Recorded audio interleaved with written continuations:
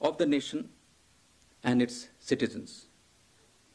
If Pakistan claims to be a Naya Pakistan with a Nai Soch, it should demonstrate Naya action against terrorist groups and terror infrastructure on its soil and end cross border terrorism in support of its claims.